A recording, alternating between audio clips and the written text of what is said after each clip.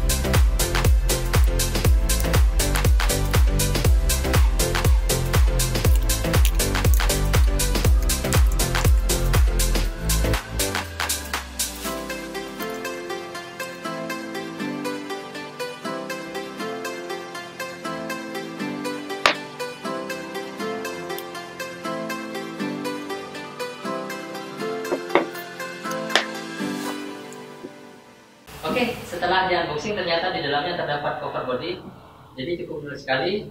Dan produk ini dirilis pada tanggal 9 Juni 2020, di mana kelebihannya antaranya adalah pada chipsetnya yang tanggung untuk gaming, dia menggunakan Qualcomm Snapdragon 720G octa-core dengan kecepatan 2,3 GHz, eh, di mana pilihan RAM-nya antara 6 dan 8 MB.